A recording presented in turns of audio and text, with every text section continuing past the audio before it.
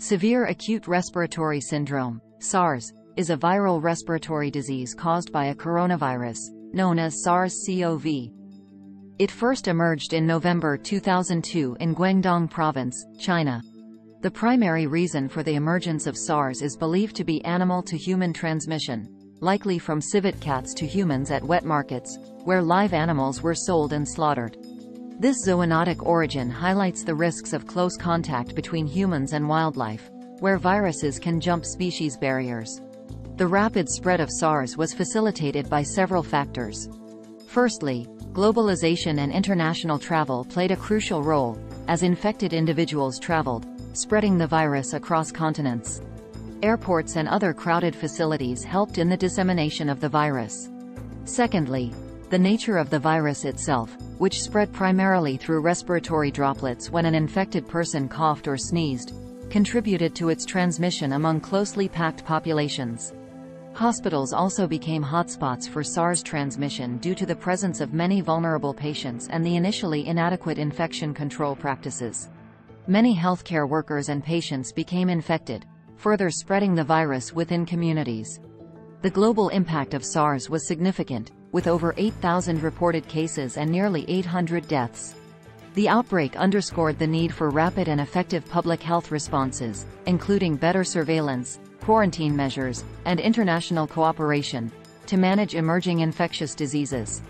The SARS, Severe Acute Respiratory Syndrome, outbreak of 2003 was a significant global health crisis that affected over 8,000 individuals across more than 30 countries and resulted in approximately 774 deaths.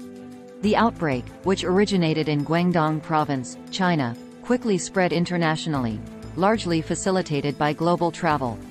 The case fatality rate was about 10%, underscoring the severity of the disease. The impact extended beyond health concerns, causing substantial economic and social disruptions, including the temporary closure of schools, cancellations of major events, and notable losses in tourism and travel industries, particularly in China, Hong Kong, and Canada. Efforts to prevent the spread of SARS centered around several crucial strategies. Quarantine and isolation measures were stringently applied to those infected or suspected of having SARS, effectively separating them from the general population. Travel restrictions played a vital role, with enhanced screening processes at airports and borders, and some regions issued travel advisories to and from highly affected areas. Public health measures, including campaigns promoting hand hygiene, mask wearing, and respiratory etiquette, were rapidly deployed to curb the spread of the virus. Improved infection control practices in hospitals, such as the widespread use of personal protective equipment, were critical in protecting healthcare workers and other patients from the virus.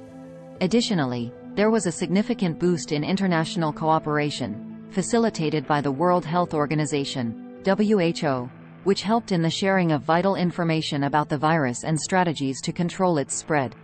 The global response to SARS was instrumental in containing the outbreak by July 2003 and set precedents for handling subsequent infectious disease outbreaks, highlighting the importance of swift and coordinated action in managing public health emergencies. The SARS, Severe Acute Respiratory Syndrome, outbreak of 2003 is considered effectively contained, with no new cases reported since 2004. This containment was achieved through rigorous public health interventions and international cooperation, leading the World Health Organization to declare the global outbreak contained as of July 5, 2003. Preventing a potential re-emergence of SARS or similar outbreaks involves a multifaceted approach. Continuous surveillance and monitoring are critical for the early detection of potential SARS-like infections. This includes keeping an eye on both human cases and potential animal sources, given that coronaviruses often originate in animals. Although specific vaccine development for SARS was paused after the disease was contained, ongoing research into coronaviruses, especially spurred by the COVID-19 pandemic, remains crucial. This research aids in understanding the virus better and developing strategies to combat similar threats. The importance of robust public health infrastructure cannot be overstated. It ensures that healthcare facilities are well equipped, healthcare workers are well trained, and systems are in place for rapid response capabilities such as testing, contact tracing, and isolation procedures. International cooperation also plays a vital role, as global health regulations and collaborative efforts between countries help manage the spread of infectious diseases and prevent regional outbreaks from escalating into global crises. Moreover, personal hygiene and public awareness are foundational in preventing the spread of respiratory diseases. Educating the public about the importance of hand hygiene, respiratory etiquette, and other preventive practices is crucial. Through awareness campaigns and public health advisories, communities can significantly contribute to the prevention of outbreaks. By maintaining vigilance, leveraging both national and international resources, and continuing research into the biology and transmission of coronaviruses, the global community can effectively manage and potentially prevent outbreaks similar to the 2003 SARS crisis.